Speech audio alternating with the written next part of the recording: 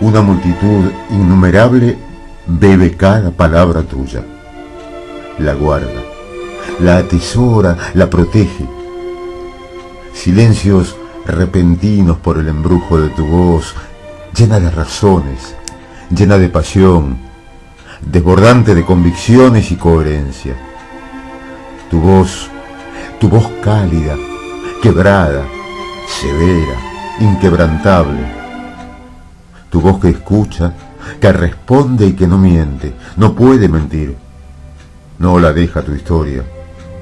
Tu voz pone en palabras aquello que esos miles sabemos, incorporamos, comprendimos, abrazamos.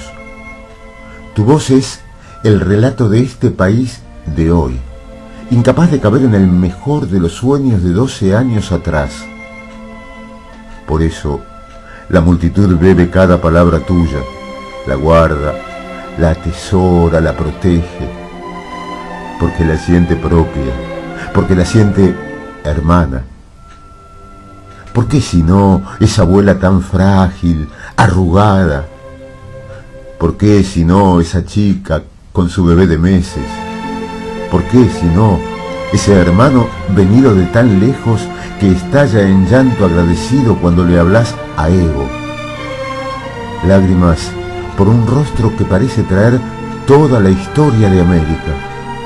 ¿Por qué si no tantas lágrimas rodando en tantos rostros?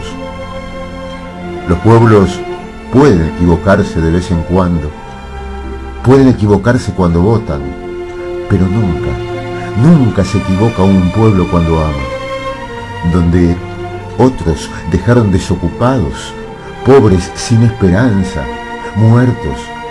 Vos dejaste corazones encendidos y un país de pie. El tiempo hará justicia a un ciclo histórico que hoy ha terminado.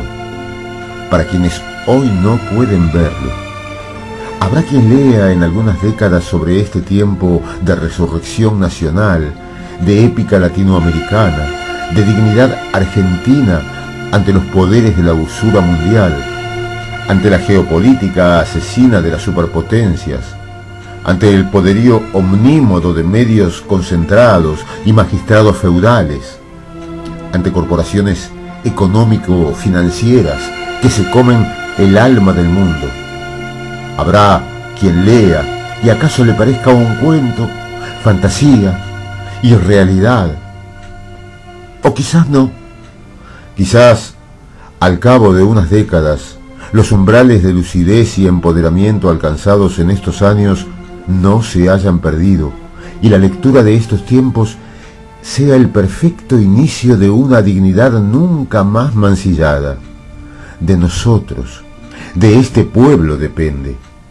De este pueblo, Cristina, que como tantas veces hoy se bebió tu voz para guardarla, atesorarla, protegerla y hacerla una bandera de victoria.